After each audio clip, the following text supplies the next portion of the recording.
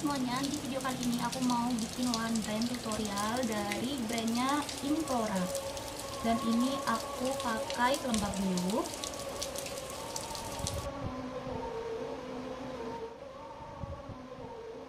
Lanjut ke foundation. Jadi di sini ada tiga ruang gitu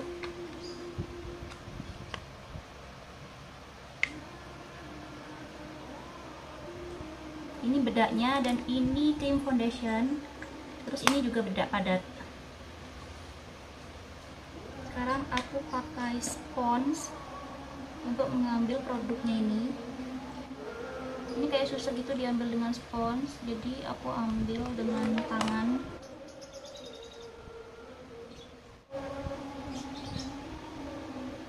Ini teksturnya itu krim gitu. Terus kayak kental dan ini menurutku aneh banget sih teksturnya.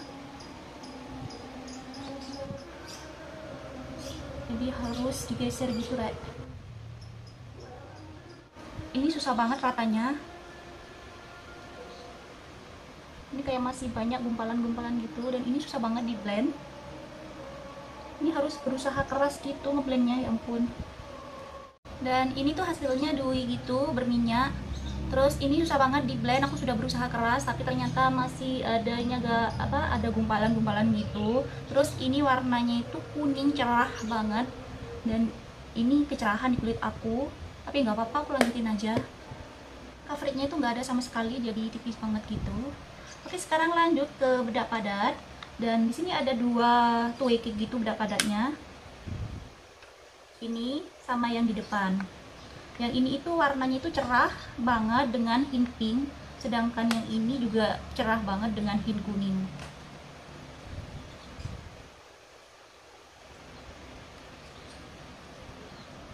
Nah itu dia. Dia itu teksturnya agak powdery gitu. Sekarang aku mau pakai yang aku pakai yang ini aja. Dan ini aku pakai spons bawaannya ini keputihan banget.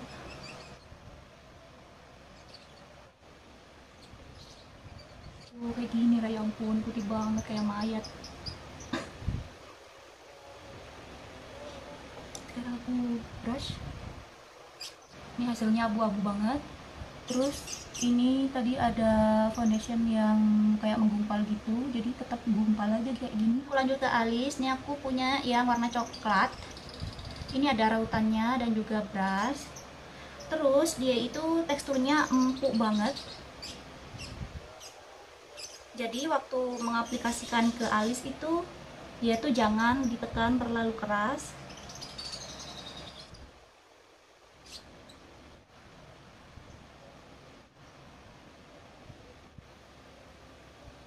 Sekarang aku rapikan dengan concealer merek lain karena Implora ini nggak ada concealernya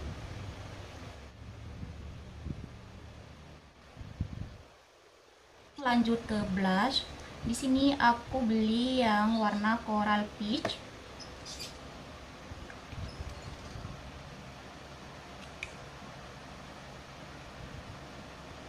Dia itu warnanya peach orange gitu cakep banget warnanya.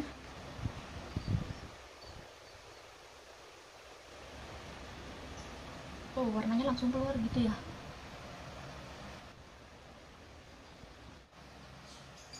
aku punya yang kayak gini. Dia itu isinya shimmer semua. Aku mau pakai yang orange.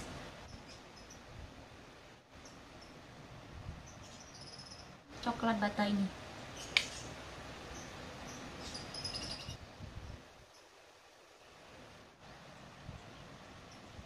Ya aku taruh juga di depan sini.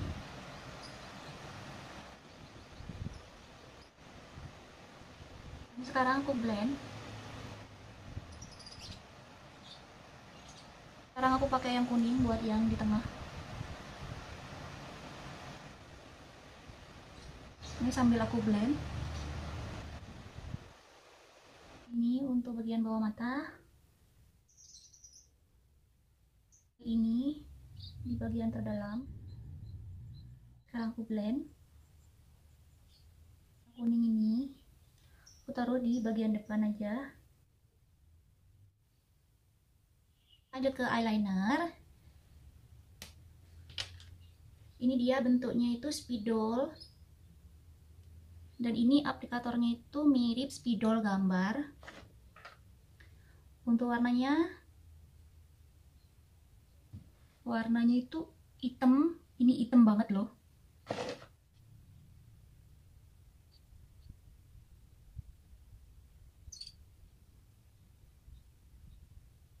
hasilnya matte dan dia itu hitam banget.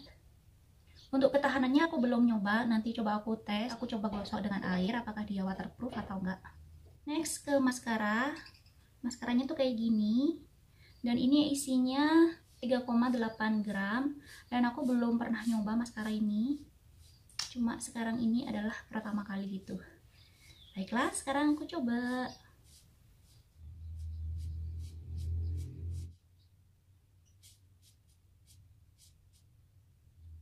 cara ini menurut aku dia itu gampang banget diaplikasikan karena aplikatornya itu dia itu kecil dan kayak gini bentuknya. Aku suka banget dengan aplikator maskara yang kayak gini dan dia itu kecil. Dan ini hasilnya memberikan volume gitu di bulu mata aku tapi di kamera nggak begitu kelihatan karena bulu mata aku tuh memang pendek dan agak turun gitu. Dan ini hasilnya itu nggak menggumpal sama sekali kan ada maskara yang kayak menggumpal-gumpal gitu tapi ini tuh enggak. Sekarang aku mau pakai lip cream yang nomor 10 ini yang shade terbaru baru keluar warna ini.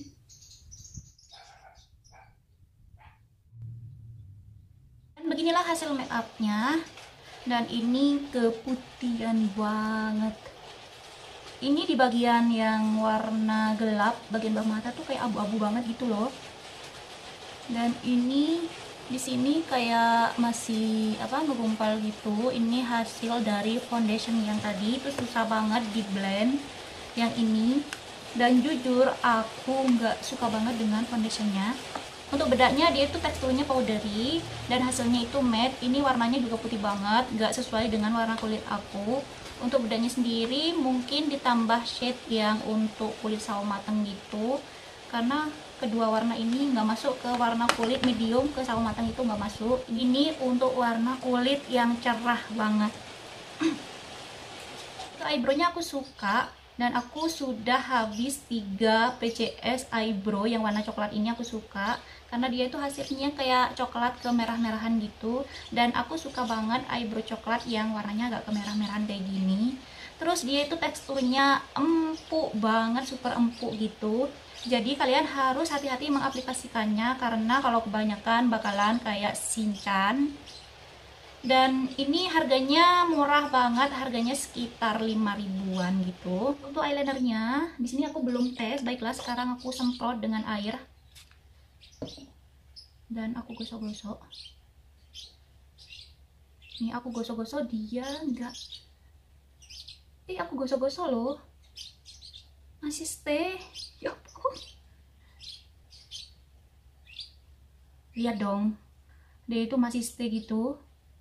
Dia itu bener-bener waterproof. Dan ini aku baru pertama kali nyoba dan aku kaget dong. Dia itu bener-bener waterproof. Ini udah digosok dengan keras tapi dia itu masih ada blushnya. Aku suka banget.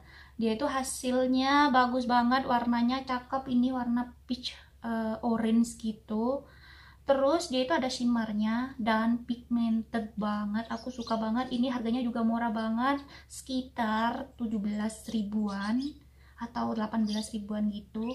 Kalian wajib coba ini bagus banget blushnya sebelum aku lanjut ke lip cream aku mau benerin dulu uh, makeup aku yang agak aneh ini. Dan di sini aku mau menambahkan uh, bronzer biar dia warnanya tidak keputihan ini aku sudah benerin makeup aku dan tadinya kan putihan banget gitu tadi aku tambahin bronzer yang kayak gini supaya warnanya itu sesuai dengan warna kulit aku. Dan baiklah sekarang aku mau bahas lip creamnya kalau lip creamnya untuk harga segini ini bagus banget. Terus untuk yang warna nomor 10 juga bagus banget nih warnanya orange bata gitu.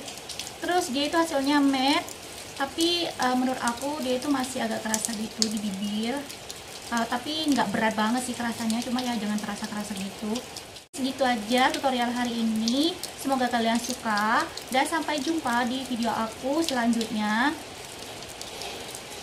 Oke segitu aja video kali ini. Semoga kalian suka dan jangan lupa like dan subscribe channel aku. Sampai jumpa di video aku selanjutnya.